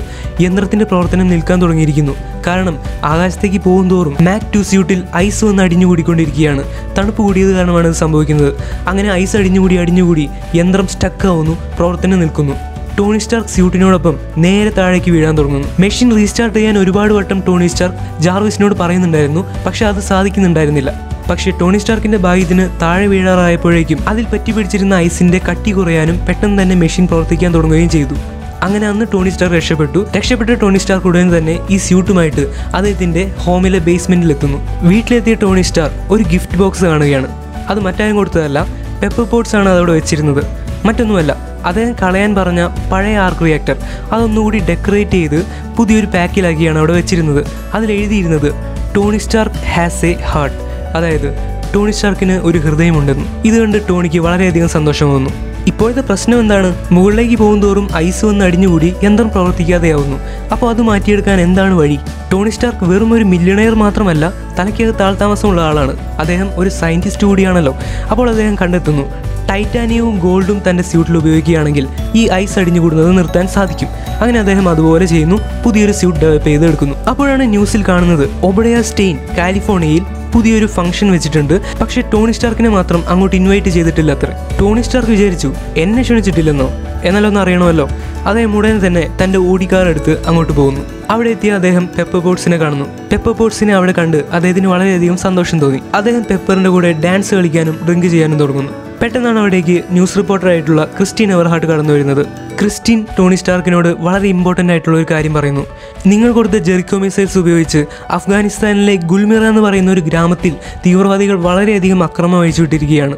അവിടെയുള്ളവരെ കൊല്ലുകയും മറ്റുമൊക്കെ ചെയ്തിട്ടാണ് ജെറിക്കോയുടെ എക്സ്പെരിമെന്റ്സ് അവർ നടത്തിക്കൊണ്ടിരിക്കുന്നത്. എന്തൊക്കെയാണ് നിങ്ങളുടെ കമ്പനി ചെയ്തുകൊണ്ടിരിക്കുന്നത്? ടോണി സ്റ്റാർക്കിന് ഇത് കേട്ട് വല്ലാതെ ദേഷ്യം വരുന്നു. താനാണെങ്കിൽ ആയുധ നിർമ്മാണം നിർത്താൻ വിചാരിച്ചിരിക്കുകയാണ്. അപ്പോൾ പിന്നെ ആരായിരിക്കും ഈ ജെറിക്കോ മിസൈൽ തീവ്രവാദികൾക്ക് കൊടുത്തിരിക്കുക? ന്യായമായിട്ടും ആ സംശയം ഒബഡയ സ്റ്റെയിനിന്റെ മേലാണ് പോകുന്നത്. പെട്ടെന്ന് തന്നെ ടോണി ഒബഡയ സ്റ്റെയിനിന്റെ അടുത്ത് പോയി ചോദിക്കുന്നു നിങ്ങൾ എന്തിനാണ് അവർക്ക് ആ മിസൈലുകൾ കൊടുത്തത്? അപ്പോൾ ഒബഡയ സ്റ്റെയിൻ ടോണിയോട് പറയുന്നു മോനെ ഇത് ബിസിനസ്സാണ് പണത്തിനു വേണ്ടി ഞാൻ ഏതറ്റം വരെയും പോകും. അത് പറഞ്ഞുകൊണ്ട് ഒബഡയ അവിടെ നിന്ന് പോകുന്നു. ടോണിക്ക് ദേഷ്യം എങ്ങനെ കൺട്രോൾ ചെയ്യണമെന്ന് അറിയുന്നുണ്ടായിരുന്നില്ല. അദ്ദേഹം പെട്ടെന്ന് തന്നെ തന്റെ വീട്ടിലെത്തുന്നു. അവിടെ ന്യൂസ് വെച്ച് നോക്കുമ്പോഴാണ് വീണ്ടും ദേഷ്യം വരുന്നത്. അതായത് അഫ്ഗാനിസ്ഥാനിലെ ഗുൽമിറ എന്ന് പറയുന്ന ഗ്രാമത്തിൽ തീവ്രവാദികൾ ആളുകളെ കൊന്നുകൊണ്ടിരിക്കുകയാണ് അത്രേ സ്ത്രീകളെയും കുട്ടികളെയും അടക്കം കൊന്നുകൊണ്ടിരിക്കുകയാണ്. ഇത് കേട്ട് ടോണിക്ക് നിയന്ത്രിക്കാനായില്ല. അദ്ദേഹം പെട്ടെന്ന് തന്നെ പോയി മാക് ടു എന്ന് പറയുന്ന തന്റെ സ്യൂട്ടിൽ ഒരുപാട് എക്സ്പെരിമെന്റ്സ് നടത്താൻ തുടങ്ങി. ഒരുപാട് പുതിയ പുതിയ ആയുധങ്ങൾ അതിൽ പിടിപ്പിക്കാൻ തുടങ്ങി. അത് എക്സ്പെരിമെന്റ് ചെയ്ത് ചെയ്ത് അവസാനം മാർക്ക് ത്രീ എന്ന് പറയുന്ന ഒരു സ്യൂട്ട് ഉണ്ടാക്കുന്നു. അതാണ് യഥാർത്ഥ അയൺമാൻ സ്യൂട്ട് എന്ന് പറയുന്നത്. ഒന്നും നോക്കിയില്ല. ഉടനെ തന്നെ സമയം കളയാതെ അഫ്ഗാനിസ്ഥാനിലേക്ക് പറക്കുന്നു ഗുൽമിറ എന്ന് പറയുന്ന ഗ്രാമത്തിൽ ചെന്ന് ലാൻഡ് ചെയ്യുന്നു. അവിടെ തീവ്രവാദികൾ ഒരു ചെറിയ കുട്ടിയെയും അയാളുടെ അച്ഛനെയും കൊല്ലാൻ പോവുകയായിരുന്നു. ആ സമയത്താണ് അയൺമാൻ അവിടെ ചെന്ന് ഇറങ്ങുന്നത്. പിന്നെ ഇങ്ങോട്ട് കുറച്ച് നേരത്തേക്ക് രോമാഞ്ചം നിറയ്ക്കുന്ന തരത്തിലുള്ള ഫൈറ്റ് സീനുകളായിരുന്നു വന്നവരെയും നിന്നവരെയും കണ്ടവരെയും ഒക്കെ അയൺമാൻ തൂക്കിയടിച്ച് തൂഫാനാക്കി കളഞ്ഞു. അവരിലെ തീവ്രവാദികളുടെ മെയിൻ ആളെ പിടിച്ച് ഈ നിൽക്കുന്ന പാവപ്പെട്ട ജനങ്ങളുടെ ഇടയിലേക്ക് ഇട്ടുകൊടുത്ത് ഇനി ഇയാളെ നിങ്ങൾക്ക് ഇഷ്ടമുള്ളത് ചെയ്യാം എന്ന് പറഞ്ഞ് അയൺമാൻ അവിടെ നിന്ന് പറക്കുന്നു. പറക്കുന്നതിന്റെ ഇടയ്ക്കാണ് അയൺമാനെ ഒരു പീരങ്കി വെച്ച് വെടിവെച്ച് താഴെ ഇടുന്നത്. താഴെ വീണ അയൺമാൻ പതുക്കെ എഴുന്നേൽക്കുന്നു. എന്നിട്ട് തന്റെ കയ്യിൽ ഘടിപ്പിച്ചിരിക്കുന്ന ചെറിയ ഒരു റോക്കറ്റ് ആ പീരങ്കിയുടെ നേരെ വിടുന്നു. എന്നിട്ട് തിരിച്ചു നടന്നു വരുന്നു. ഇനി വരുന്ന സീനാണ് ഏറ്റവും രോമാഞ്ചം തരുന്നത് ആ ചെറിയൊരു റോക്കറ്റ് കാരണം വലിയൊരു പൊട്ടിത്തെറിയാണ് അവിടെ നടക്കുന്നത്. ഈ പൊട്ടിത്തെറി എയർഫോഴ്സുകാർ അവിടെ ഘടിപ്പിച്ചിരിക്കുന്ന സാറ്റലൈറ്റിലൂടെ മനസ്സിലാക്കുന്നു. ആരാണ് ഇത്ര വലിയ പൊട്ടിത്തെറി ഇപ്പോൾ നടത്തിയത്? അങ്ങനെ എന്താണ് അവിടെ വന്നിട്ട് പോയതെന്ന് അറിയാൻ വേണ്ടി അവിടെയുള്ള മെയിൻ പൈലറ്റ് കുറച്ച് യുദ്ധവിമാനങ്ങൾ അങ്ങോട്ട് അയക്കുന്നു അവർ അയൺമാൻ സ്യൂട്ടിൽ പാർക്കുന്ന ടോണി സ്റ്റാർക്കിനെ കണ്ടെത്തുന്നു. പക്ഷേ എന്താണ് ഈ സാധനം എന്ന് കണ്ടുപിടിക്കാൻ അവർക്ക് കഴിയുന്നുണ്ടായിരുന്നില്ല. അങ്ങനെ അവർ അയൺമാനെ ആക്രമിക്കാൻ തുടങ്ങി. ഏറ്റവും പുതിയ ടെക്നോളജി ആയതുകൊണ്ട് തന്നെ ആ വിമാനങ്ങൾക്കൊന്നും അയൺമാന്റെ രോമത്തിൽ പോലും തൊടാൻ സാധിക്കുന്നുണ്ടായിരുന്നില്ല. എന്നാൽ ഇവരാണെങ്കിൽ അയൺമാനെ വിട്ട് പിന്നിൽ നിന്ന് പോകുന്നുണ്ടായിരുന്നില്ല അങ്ങനെ പിന്തുടരുന്നതിന്റെ ഇടയ്ക്ക് അതിലൊരു വിമാനം കേടാവുകയും അതിലിരുന്ന പൈലറ്റ് താഴേക്ക് വീഴുകയും ചെയ്യുന്നു. പക്ഷേ അയാളുടെ ശരീരത്തിലുണ്ടായിരുന്ന പാരച്യൂട്ട് തുറക്കുന്നുണ്ടായിരുന്നില്ല. അത് വർക്കായില്ലെങ്കിൽ താഴെ വീണ് മരിക്കുമെന്ന് ഉറപ്പല്ലേ? പക്ഷേ അയൺമാൻ പെട്ടെന്ന് തന്നെ താഴേക്ക് പറന്ന് അയാളെ രക്ഷിക്കുന്നു. അതിനുശേഷം തന്നെ സുഹൃത്തായിട്ടുള്ള ജെയിംസ് റോഡ്സിനെ വിളിച്ചു പറയുന്നു ആ സ്യൂട്ടിന്റെ ഉള്ളിലുള്ളത് മറ്റാരുമല്ല അത് ഞാനാണ്. നീ പെട്ടെന്ന് തന്നെ ആ യുദ്ധവിമാനങ്ങളോട് തിരിച്ചു പോകാൻ പറയണം. എന്നിട്ട് അയൺമാൻ തിരിച്ച് തന്റെ വീട്ടിലേക്ക് എത്തുന്നു. ജെയിംസ് റോഡ്സ് അടുത്ത ദിവസം ഒരു പ്രസ് മീറ്റ് കൊടുക്കുമ്പോൾ അവിടെയുള്ളവർ ചോദിക്കുകയാണ് ഇന്നലെ നടന്ന പൊട്ടിതെറിയുടെ പിന്നിൽ ആരാണ്? ജെയിംസ് റോഡ്സ് പറയുന്നു അത് നമ്മളുടെ ശത്രുക്കളായ തീവ്രവാദികളുടെ ശത്രുക്കളായിരിക്കും. അവർ പരസ്പരം അങ്ങനെ വെടിവെച്ച് ചാവാൻ നടക്കുകയല്ലേ? അപ്പോൾ പിന്നെ അവർ തന്നെയായിരിക്കും പൊട്ടിത്തെറി നടത്തിയത്. ഈ വാർത്ത കേട്ട ഒബഡയ സ്റ്റീനിന് മനസ്സിലായി. ആരോ എന്നെയും തീവ്രവാദികളെയും തടയാൻ ശ്രമിക്കുന്നുണ്ട്. ആരായിരിക്കും അത്? ഒബഡയ ഉടനെ തന്നെ ടെൻറിങ്സിന്റെ അടുത്തേക്ക് പോകുന്നു. എന്നിട്ട് ചോദിക്കുന്നു അതാരായിരിക്കാം? അപ്പോൾ ടെൻറിങ്സ് പറയുന്നു അത് മറ്റാരുമല്ല. അത് ടോണി സ്റ്റാർക്കാണ്. ഞങ്ങളുടെ കയ്യിൽ നിന്ന് രക്ഷപ്പെടാൻ വേണ്ടിയിട്ടും അവനൊരു സ്യൂട്ട് നിർമ്മിച്ചിരുന്നു. നിങ്ങളൽപ്പം സൂക്ഷിച്ചോ. അവൻ നിന്നെയും കൊല്ലും. അതിനുശേഷം ടെൻ റിങ്സ് ഒരു ഓഫർ കൊടുക്കുന്നു. എന്താണെന്ന് വെച്ചാൽ ടോണി സ്റ്റാർക്ക് ആദ്യമായിട്ടുണ്ടാക്കിയ മാക് വൺ എന്ന് പറയുന്ന സ്യൂട്ട് അതിന്റെ ഭാഗങ്ങളൊക്കെ ഞങ്ങൾക്ക് കിട്ടി. അത് വെച്ച് ഞങ്ങൾ വീണ്ടും പുതിയൊരു സ്യൂട്ട് ഉണ്ടാക്കിയിട്ടുണ്ട്. നിങ്ങൾക്കത് വേണമെങ്കിൽ തരാം പക്ഷേ വലിയ വില തന്നെ തരേണ്ടി വരും. ചതിയുടെ കാര്യത്തിൽ മുന്നിൽ തന്നെ നിൽക്കുന്ന ആളാണ് ഒബഡയ സ്റ്റെയിൻ അദ്ദേഹം ഉടൻ തന്നെ തന്റെ ഹൈടെക് ഡിവൈസ് എടുത്ത് ടെൻ റിങ്സിന്റെ ചെവിയുടെ അടുത്ത് വയ്ക്കുന്നു നിമിഷങ്ങൾക്കുള്ളിൽ തന്നെ ടെൻ റിങ്സ് പാരലൈസ് ആയി പോകുന്നു. അതായത് തളർന്നു പോകുന്നു. അനങ്ങാൻ പറ്റാത്ത പോലെ ആയി പോകുന്നു. അധികം കാത്തു നിൽക്കാതെ ആ സ്യൂട്ട് അവിടെ നിന്ന് മോഷ്ടിച്ച് ഒബഡയാസ്റ്റീൻ പോകുന്നു. ടോണി സ്റ്റാർക്കിന് ഏകദേശം മനസ്സിലായി ഈ തീവ്രവാദികളും ഒബഡയസ്റ്റീനും തമ്മിൽ എന്തൊക്കെയോ ബന്ധങ്ങളുണ്ട്. അത് മനസ്സിലാക്കാൻ വേണ്ടി പെപ്പ് ബോട്ട്സിനോട് ഒരു ഹെൽപ്പ് ചോദിക്കുന്നു. നീ ഒബഡേസ്റ്റീന്റെ ഓഫീസിൽ പോയിട്ട് അദ്ദേഹത്തിന്റെ കമ്പ്യൂട്ടറിൽ നിന്നുള്ള വിവരങ്ങൾ ഒരു പെൻഡ്രൈവിൽ കോപ്പി ചെയ്ത് എനിക്ക് കൊണ്ടുതരണം. അയാൾക്ക് ആ തീവ്രവാദികളുമായിട്ട് എന്തൊക്കെ ബന്ധങ്ങളാണുള്ളതെന്ന് എനിക്കറിയണം. പണത്തിന് വേണ്ടി അയാൾ ലോകത്തിന് തന്നെ കൊലക്കി കൊടുക്കാൻ ചിലപ്പോൾ തയ്യാറാവും. അത് തടഞ്ഞേ പറ്റൂ. പെപ്പ് ബോട്ട് സമ്മതിക്കുന്നു. എന്നിട്ട് ഒബഡിയാസ്റ്റൈന്റെ ഓഫീസിൽ പോയി. പെൻഡ്രൈവ് എടുത്ത് അദ്ദേഹത്തിന്റെ കമ്പ്യൂട്ടറിൽ കുത്തി. വിവരങ്ങളൊക്കെ കോപ്പി ചെയ്യാൻ തുടങ്ങുന്നു. പെട്ടെന്നാണ് ഞെട്ടിക്കുന്ന ഒരു വിവരം കൂടി കണ്ടെത്തിയത്. ടോണി സ്റ്റാർക്കിനെ പിടിച്ചുകൊണ്ട് പോകാൻ വേണ്ടി തീവ്രവാദികളെ വിട്ടത് മറ്റാരുമല്ല. അത് ഒബഡയാസ്റ്റൈൻ പറഞ്ഞിട്ട് അദ്ദേഹത്തിന്റെ അറിവോടെ തന്നെയായിരുന്നു. ഇത് കോപ്പി ചെയ്തുകൊണ്ടിരിക്കുന്നതിന്റെ ഇടയ്ക്ക് ഒബഡയാസ്റ്റൈൻ അങ്ങോട്ട് കടന്നു വരുന്നു. പെപ്പർ പോട്ട്സ് തന്റെ നാച്ചുറൽ ആയിട്ടുള്ള അഭിനയം കൊണ്ട് അവിടെ നിന്ന് രക്ഷപ്പെട്ട് പുറത്തു കിടക്കുന്നു. പെൻഡ്രൈവിൽ എല്ലാ വിവരങ്ങളും കൊണ്ടാണ് അവൾ പുറത്തു കടന്നത്. ഈ വിവരം ഒബഡയാസ്റ്റൈൻ പെട്ടെന്ന് തന്നെ മനസ്സിലാക്കുന്നു. അപ്പോഴാണ് പുതിയൊരു കഥാപാത്രം അങ്ങോട്ട് വരുന്നത്. പുറത്തേക്ക് ഇറങ്ങി നടക്കാൻ പോകുന്ന പെപ്പർ ബോട്ട്സിന്റെ അടുത്തേക്ക് ഫീൽ കോൾസൺ എന്ന് പറയുന്ന ഒരാൾ വരുന്നു. അയാൾ പെപ്പർ ബോട്ട്സിനോട് പറയുന്നു ഞാൻ ഷീൽഡ് എന്ന് പറയുന്ന ഒരു ഏജൻസിയുടെ ഒരു ഏജന്റാണ്.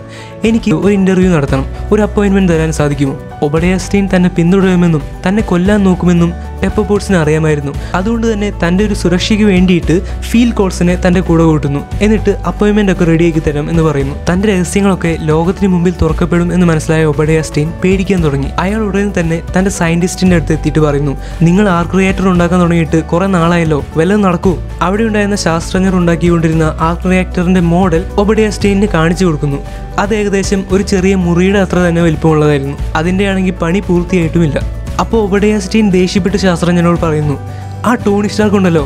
അവൻ ഗുഹയിൽ ഒറ്റയ്ക്ക് ഇരുന്ന് കയ്യിൽ കിട്ടിയ സാധനങ്ങൾ വെച്ചിട്ടാണ് ഒരു ആർക്ക് റിയാക്ടർ പെട്ടെന്ന് ഉണ്ടാക്കിയെടുത്തത് നിങ്ങളെ കൂട്ടം എന്താ അത് പറ്റാത്തത്? അപ്പോൾ സയന്റിസ്റ്റ് പറയുന്നു സാർ ടോണി സ്റ്റാർക്ക് ടോണി സ്റ്റാർക്കാണ്. ഞങ്ങളെ കൊണ്ട് പറ്റുന്നതല്ല ഞങ്ങൾക്ക് ചെയ്യാൻ പറ്റൂ. ഒബഡയാസ്റ്റീൻ നിരാശനായിട്ട് അവിടെ നിന്ന് പോകുന്നു. വേറെ ഒരു വഴിയും അദ്ദേഹത്തിന് മുമ്പിൽ കണ്ടില്ല. നേരെ അദ്ദേഹം മാലിബുവിലുള്ള ടോണി സ്റ്റാർക്കിന്റെ വീട്ടിലേക്ക് ചെല്ലുന്നു. അവിടെ സോഫയിൽ ഇരുന്നിരുന്ന ടോണി സ്റ്റാർക്കിനെ അദ്ദേഹത്തിന്റെ കയ്യിലുള്ള ചെറിയ ഉപകരണം വെച്ച് പാരലൈസ് ആകുന്നു. ടോണി സ്റ്റാർക്കിന് അടുത്ത പതിനഞ്ച് മിനിറ്റ് നേരത്തേക്ക് അനങ്ങാൻ പോലും പറ്റിയില്ല. ഈ ഒരു തക്കം നോക്കി അയൺമാന്റെ നെഞ്ചിൽ നിന്ന് ആ ചെറിയ ആർക്ക് റിയാക്ടർ ഊരിയെടുത്ത് ഒബഡയാസ്റ്റീൻ പെട്ടെന്ന് തന്നെ സ്ഥലം വിട്ടു. താൻ മരിക്കാൻ പോവുകയാണെന്ന് ടോണി സ്റ്റാർക്കിന് മനസ്സിലായി. അപ്പോഴാണ് ടോണിക്ക് ഓർമ്മ വന്നത്. പെപ്പർ ബോട്ട്സിനോട് താൻ കളയാൻ പറഞ്ഞിരുന്ന പഴയ ആർക്ക് റിയാക്ടർ അത് അവൾ എനിക്ക് ഗിഫ്റ്റായി തന്നിട്ടുണ്ട്. പെട്ടെന്ന് തന്നെ അതെടുക്കാൻ സാധിച്ചാൽ ഞാൻ രക്ഷപ്പെടും. അദ്ദേഹം വളരെ കഷ്ടപ്പെട്ട് ഏന്തി വലിഞ്ഞ് ആ പഴയ ആർക്ക് റിയാക്ടർ ഇരിക്കുന്ന സ്ഥലത്തേക്ക് എത്തുന്നു. കൈ എത്തിച്ചത് അത് മേശപ്പുറത്ത് നിന്ന് എടുക്കാനാവുമ്പോഴേക്കും അദ്ദേഹം തളർന്ന് താഴെ വീഴുന്നു. പക്ഷെ ഭാഗ്യമെന്ന് പറയട്ടെ അദ്ദേഹത്തിന്റെ കമ്പ്യൂട്ടർ അസിസ്റ്റന്റ് ആയിട്ടുള്ള ജാർവിസ് ആർക്ക് റിയാക്ടർ അദ്ദേഹത്തിന്റെ കയ്യിലേക്ക് എത്തിച്ചു കൊടുക്കുന്നു. പിന്നെ ടോണി സ്റ്റാർക്ക് ആർക്ക് റിയാക്ടർ എടുത്ത് നെഞ്ചത്ത് വെച്ച് അയൺമാൻ സ്യൂട്ട് എടുത്തൊരു പോക്കുണ്ട്. ഒബഡയ സ്റ്റെയിനെ തടയാൻ. ഇതേ സമയം അയൺമാന്റെ മാക് വൺ എന്ന മോഡൽ സ്യൂട്ടിന്റെ മാതൃക ഉൾക്കൊണ്ട് അതിനേക്കാൾ വലിയൊരു സ്യൂട്ട് ഒബഡയ സ്റ്റെയിൻ ഉണ്ടാക്കിയിട്ടുണ്ടായിരുന്നു. അതിലൊരു സാധനത്തിന്റെ മാത്രം കുറവുണ്ടായിരുന്നുള്ളൂ അതിന് പവർ കൊടുക്കാനായിട്ടുള്ള ആർക്ക് റിയാക്ടർ ആ സാധനവും ഇപ്പോൾ ടോണി സ്റ്റാക്കിന്റെ കയ്യിൽ നിന്ന് എടുത്തു. ഒബഡയാസ്റ്റെയിൻ പെട്ടെന്ന് തന്നെ ആ ക്രിയേറ്റർ എടുത്തു വെച്ച് സ്യൂട്ടിന്റെ ഉള്ളിൽ കയറി അത് സ്റ്റാർട്ട് ചെയ്യുന്നു. വളരെ നല്ല രീതിയിൽ തന്നെ അയാളുടെ പുതിയ സ്യൂട്ട് പ്രവർത്തിക്കാൻ തുടങ്ങുന്നു. പെട്ടെന്ന് അയൺമാൻ അങ്ങോട്ട് വരുന്നു. പക്ഷേ ആ വലിയ സ്യൂട്ടിന് മുമ്പിൽ അയൺമാൻ ഒന്നും ചെയ്യാൻ പറ്റുന്നില്ല. അവർ തമ്മിൽ അതിഗംഭീരമായിട്ടുള്ള ഫൈറ്റാണ് പിന്നെ നടക്കുന്നത്. രണ്ടുപേരും പരസ്പരം ഇടിക്കാനും തെറിപ്പിക്കാനും ശ്രമിക്കുന്നു. പക്ഷേ ഭാരം കൂടിയ സ്യൂട്ട് ആയതുകൊണ്ട് തന്നെ അയൺമാൻ സ്യൂട്ടിന് മറ്റേ സ്യൂട്ടിന്റെ കൂടെ പിടിച്ചു നിൽക്കാൻ പറ്റുന്നില്ല. അയൺ മോങ്കർ എന്നാണ് ആ പുതിയ സ്യൂട്ടിന് ഒബഡയ സ്റ്റെയിൻ ഇട്ട പേര്. കുറെ നേരത്തെ ഫൈറ്റിന് ശേഷം അയൺമാൻ മനസ്സിലായി. സാധാരണ രീതിയിൽ ഫൈറ്റ് ചെയ്താൽ അയൺ മോങ്കറിനെ തോൽപ്പിക്കുക എന്ന് പറയുന്നത് എന്നെ കൊണ്ട് നടക്കില്ല. ഇവിടെ ബുദ്ധി പ്രയോഗിച്ചേ പറ്റൂ. അയൺമാൻ ഓർമ്മ വന്നു. അന്ന് ഞാൻ ആകാശത്തേക്ക് പറന്നപ്പോൾ ഐസ് ഒന്ന് അടിഞ്ഞുകൂടി എന്റെ സീറ്റ് പ്രവർത്തിക്കാതെയായി. അന്ന് എന്താണ് ചെയ്തതെന്ന് എനിക്കറിയാം. പക്ഷേ അത് ഇവനറിയില്ലല്ലോ. അദ്ദേഹം ഫുൾ പവർ എടുത്ത് ആകാശത്തേക്ക് പറന്നു വരുന്നു അയൺ മോങ്കർ എന്ന വലിയ സൂട്ടിന്റെ ഉള്ളിൽ കൂടെ ഒബഡയ സ്റ്റെയിൻ അയൺമാനെ പിന്തുടരാൻ തുടങ്ങി. രണ്ടുപേരും കട്ടയ്ക്ക് കട്ടയ്ക്കാണ് പറഞ്ഞിരുന്നത് അങ്ങനെ കുറേ ദൂരം എത്തി പക്ഷേ മാക് ത്രീ എന്ന് പറയുന്ന അയൺമാന്റെ സ്യൂട്ടിൽ ഐസ് കട്ട പിടിക്കില്ലായിരുന്നു. മാർക്ക് വൺ എന്ന് പറയുന്ന അയൺ മോക്കർ അതായത് ഒബഡയ സ്റ്റീനിന്റെ വലിയ സ്യൂട്ടിൽ ഐസ് വെറ്റി പിടിക്കാൻ തുടങ്ങി. ഒബഡയ സ്റ്റീൻ സ്യൂട്ടും കൂടി നേരെ താഴേക്ക് ചെന്ന് ഒരു റൂഫിന്റെ മുകളിൽ വീഴുകയാണ്. ആ റൂഫ് അല്ലെങ്കിൽ മേൽക്കൂര എന്ന് പറയുന്നത് സയന്റിസ്റ്റ് ആർക്ക് റിയാക്ടർ ഉണ്ടാക്കിക്കൊണ്ടിരിക്കുന്ന സ്ഥലമായിരുന്നു. ഒബഡയ സ്റ്റീൻ മരിച്ചു എന്ന് കരുതി അയൺമാൻ അവിടെ ചെന്നിറങ്ങി. പക്ഷേ അത്ഭുതം എന്ന് പറയട്ടെ ഇത്ര മുകളിൽ നിന്ന് വീണിട്ടും അയൺമോങ്കിനും ഒബഡയയ്ക്കും പ്രത്യേകിച്ചൊന്നും പറ്റിയിട്ടുണ്ടായിരുന്നില്ല. അയൺമാൻ എവിടെയാണുള്ളതെന്ന് കണ്ടെത്തി പെപ്പ് ബോട്ട്സ് അവിടെ വന്നിട്ടുണ്ടായിരുന്നു. പെപ്പ് ബോട്ട്സിനോട് അയൺമാൻ പറയുന്നു നീ പെട്ടെന്ന് തന്നെ ഈ താഴെ കാണുന്ന ആർക്ക് റിയാക്ടർ ഫുൾ പവറിൽ ഓൺ ആക്കണം. അതിന്റെ വേവ്സിൽ നിന്ന് ഞാൻ എങ്ങനെയെങ്കിലും രക്ഷപ്പെട്ടോളാം. ആ വേവ്സ് കൊണ്ട് ഇവൻ മരിച്ചോളും. പെപ്പർ ബോട്ട്സ് അതുപോലെ തന്നെ ചെയ്യുന്നു. അയൺമാൻ അതിൽ നിന്ന് രക്ഷപ്പെടുകയും ഒബഡയസ്റ്റീന്റെ സ്യൂട്ട് ആ വേവ്സ് കൊണ്ട് തകർന്ന് തരിപ്പണമായി പോകുന്നു. അയാൾ അവിടെ മരിക്കുന്നു. അടുത്ത ദിവസത്തെ പ്രസ് മീറ്റിൽ ടോണി സ്റ്റാർക്ക് എത്തുമ്പോൾ അവിടെ ഒരുപാട് ചോദ്യങ്ങളുമായി ആളുകൾ വന്നിട്ടുണ്ടായിരുന്നു. ഇന്നലെ കണ്ട ആ രണ്ട് സ്യൂട്ടുകൾ അതെന്തൊക്കെയാണ്? അതിന്റെ ഉള്ളിൽ നിങ്ങളുണ്ടായിരുന്നു? എന്നൊക്കെ ടോണി സ്റ്റാർക്കിനോട് അവർ ചോദിക്കാൻ തുടങ്ങി. ആ സമയത്ത് നേരത്തെ കണ്ട ഷീൽഡ് ഏജന്റ് ആയിട്ടുള്ള ഫീൽ ഗോൾസൺ അങ്ങോട്ട് വരുന്നു. എന്നിട്ടൊരു കടലാസിൽ എഴുതിയ സ്ക്രിപ്റ്റ് നമ്മളുടെ ടോണി സ്റ്റാർക്കിന് കൊടുക്കുന്നു. താങ്കൾ ഇതിൽ എഴുതിയ പോലെ പറഞ്ഞാൽ മതി. ഒബഡയ സ്റ്റെയിൻ ഒരു ഫ്ലൈറ്റ് ആക്സിഡന്റിൽ മരിച്ചുവെന്നും ഇന്നലെ ആ സ്യൂട്ടിന്റെ ഉള്ളിൽ കണ്ട ആൾ തന്റെ ഒരു ബോഡി ഗാർഡ് ആയിരുന്നുവെന്നും ഇപ്പോൾ അയാളുമായിട്ട് തനിക്ക് ഒരു ബന്ധവുമില്ല എന്നൊക്കെ പറഞ്ഞാൽ മതിയെന്ന് അയൺമാനോട് പറയുന്നു. ടോണി സ്റ്റാർക്ക് വീണ്ടും പ്രസ് മീറ്റിലേക്ക് ചെല്ലുന്നു. വീണ്ടും ചോദ്യങ്ങൾ ഉയർന്നുകൊണ്ടിരിക്കുകയാണ്. ഇതൊക്കെ കേട്ട് ടോണി സ്റ്റാർക്ക് കുറച്ച് അസ്വസ്ഥനാവാൻ തുടങ്ങി. അപ്പോൾ അദ്ദേഹത്തിന്റെ ഫ്രണ്ടായിട്ടുള്ള ജെയിംസ് റോഡ്സ് പറയുന്നു ടോണി നീ പേടിക്കണ്ട. നീ അയാൾ എഴുതി തന്ന പോലെ കാര്യങ്ങൾ പറയും. വേറെ കുഴപ്പമൊന്നും ഉണ്ടാവില്ലല്ലോ. അയൺമാനിലെ തന്നെ ഏറ്റവും ലെജൻഡറി ആയിട്ടുള്ള ഒരു സീനായിരുന്നു അടുത്തത്. ചോദ്യങ്ങൾ ഉയർന്നുകൊണ്ടിരിക്കുകയാണ്. ടോണിക്ക് പറയാൻ വേണ്ടി അയാൾ എഴുതി തന്ന സ്ക്രിപ്റ്റിലേക്ക് ടോണി സ്റ്റാർക്ക് നോക്കുന്നു. എന്നിട്ട് പ്രസ്സിലുണ്ടായിരുന്ന എല്ലാവരുടെയും നേരെ നോക്കി പറയുന്നു ഐ ആം അയൺമാൻ ഞാനാണ് അയൺമാൻ വലിയൊരു തുറന്നു പറച്ചിലായിരുന്നു അവിടെ നടത്തിയത്. അവിടെ പ്രസ്സിലുണ്ടായിരുന്ന എല്ലാവരും വളരെ എക്സൈറ്റഡ് ആയി തങ്ങളുടെ മൈക്ക് കൊണ്ട് അയൺമാന്റെ അടുത്തേക്ക് വരുന്നു. ഈ സിനിമ ഇവിടെ അവസാനിക്കുകയാണ്. ഈ സിനിമയുടെ പോസ്റ്റ് ക്രെഡിറ്റ് സീൻസിൽ നമുക്ക് കാണാൻ സാധിക്കുന്നത് അയൺമാന്റെ അടുത്തേക്ക് നിക് ഫ്യൂറി എന്ന് പറയുന്ന ഒരാൾ വരികയാണ്. നിക് ഫ്യൂറി എന്ന് പറയുന്നത് ഷീൽഡ് എന്ന് പറയുന്ന ഏജൻസിയുടെ ഡയറക്ടറാണ് അദ്ദേഹം അവെഞ്ചേഴ്സ് ഇനീഷ്യേറ്റീവിലേക്ക് ടോണി സ്റ്റാർക്കിനെ ചേർക്കാനായിരുന്നു അങ്ങോട്ട് വന്നത്. അവെഞ്ചേഴ്സ് ഇനീഷ്യേറ്റീവ് അവെഞ്ചേഴ്സ് എന്താണെന്ന് അറിയാത്തവരാരും ഇല്ലല്ലോ. അതെന്താണെന്നൊക്കെ വഴിയെ നമുക്ക് പറയാം. അയൺമാൻ വൺ എന്ന് പറയുന്ന ഈ ചിത്രത്തിന് ഐ എം ഡി ബിയിൽ സെവൻ പോയിന്റ് നയൻ ആണ് റേറ്റിംഗ് ഈ ചിത്രത്തിന്റെ നിർമ്മാണ ചെലവ് എന്ന് പറയുന്നത് പതിനാല് കോടി യു എസ് ഡോളർ ആയിരുന്നു. ഈ ചിത്രം വലിയൊരു ഹിറ്റായതുകൊണ്ട് തന്നെ ഇതിന്റെ ബോക്സ് ഓഫീസ് കളക്ഷൻ എന്ന് പറയുന്നത് അമ്പത്തെട്ട് പോയിന്റ് അമ്പത്തിമൂന്ന് കോടി യു എസ് ഡോളറാണ് ഈ സിനിമ ഡയറക്റ്റ് ചെയ്തിരിക്കുന്നത് ജോൺ ഫാവറോ എന്ന് പറയുന്ന ഒരാളാണ്. അദ്ദേഹം തന്നെയാണ് അയൺമാന്റെ ബോഡി ഗാർഡായിട്ടുള്ള ഹാപ്പി ഹോഗൻ എന്ന് പറയുന്ന റോളിൽ ഈ സിനിമയിൽ വന്നിരിക്കുന്നത്. നമ്മൾക്ക് എല്ലാവർക്കും അറിയാവുന്നതുപോലെ തന്നെ അവഞ്ചേഴ്സ് സീരീസിന്റെ നെടുന്തൂണായിട്ടുള്ള അയൺമാൻ അവതരിപ്പിച്ചിരിക്കുന്നത് റോബർട്ട് ഡൗണി ജൂനിയറാണ് പെപ്പ് പോട്ട്സ് എന്ന് പറയുന്ന കഥാപാത്രത്തെ അവതരിപ്പിച്ചിരിക്കുന്നത് ഗ്വിനത് പാൽട്രോ ആണ്. അതുപോലെ തന്നെ വില്ലനായിട്ടുള്ള ഒബഡയ സ്റ്റെയിനെ അവതരിപ്പിച്ചിരിക്കുന്നത് ജെഫ് ബ്രിഡ്ജസ് എന്ന് പറയുന്ന ആക്ടറാണ് എന്തായാലും ഇന്നത്തെ വീഡിയോ ഇവിടെ അവസാനിക്കുന്നു. അടുത്ത സിനിമയായിട്ട് നമ്മൾ പറയാൻ പോകുന്നത് ദ ഇൻക്രെഡിബിൾ ഹൾക്ക് എന്ന് പറയുന്ന സൂപ്പർ ഹിറ്റ് ചിത്രത്തെ പറ്റിയിട്ടാണ്. അപ്പോൾ ഇന്നത്തെ വീഡിയോ ഇഷ്ടപ്പെട്ടവർ തീർച്ചയായിട്ടും ലൈക്ക് ചെയ്യാനും കമന്റ് ചെയ്യാനും തീർച്ചയായിട്ടും നിങ്ങൾക്കറിയുന്ന മൂവി ഗ്രൂപ്പ്സിൽ ഇതൊന്ന് ഷെയർ ചെയ്ത് കൊടുക്കാനും മറക്കരുത്. അതുപോലെ തന്നെ സബ്സ്ക്രൈബ് ചെയ്ത് ബെല്ലൈക്കൺ അമർത്തി വയ്ക്കുക എന്നാലാണ് അടുത്ത മൂവീസ് വരുമ്പോൾ നിങ്ങൾക്ക് നോട്ടിഫിക്കേഷൻ ലഭിക്കുക. So once again it's me Amit signing out